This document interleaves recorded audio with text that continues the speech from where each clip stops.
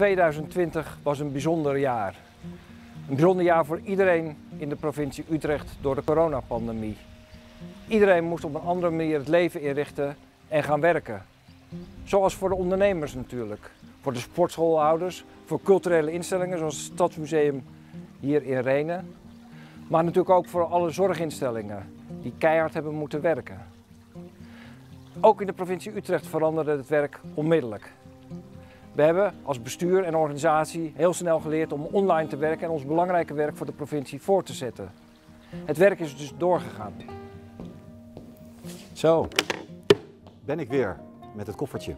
Een paar maanden geleden keek ik vooruit naar 2021 en wat we van plan waren te gaan doen.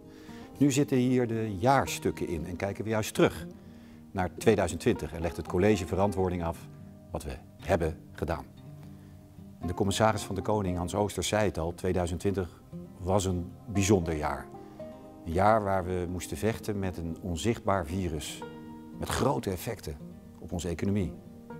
Sommige ondernemers zagen hun goedlopende bedrijven in maart ineens tot stilstand komen en moesten zich zorgen maken over het doorbetalen van de lonen of de huur of andere kosten.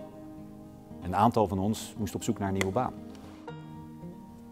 Ondanks alles hebben we als provincie heel veel van die activiteiten die we ons hadden voorgenomen kunnen doen. En daar ben ik trots op en daar vertellen we u graag meer over. Zo laat ik in een filmpje van de beroepentuin zien hoe Tjeerd vanuit de horeca omgeschoold wordt als monteur in de installatietechniek. We zien hoe Rob van Muilenkom een bezoek brengt aan Theater de Speeldoos. Zij maken gebruik van het steunpakket voor de culturele sector.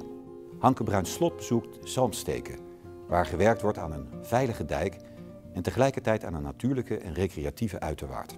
Collega Huip van Essen gaat in gesprek over de keuzes die gemaakt zijn voor de omgevingsvisie. En we zien Arne Schaddelee in natuurgebied Nieuw-Wulven. Daar gaat hij met een terreinbeheerder in gesprek over de druktemonitor. Commissaris van de Koning Hans Oosters zagen we het net al in Renen, waar hij met burgemeester Hans van der Pas terugblikt op het bijzondere lustrumjaar. 75 jaar vrijheid.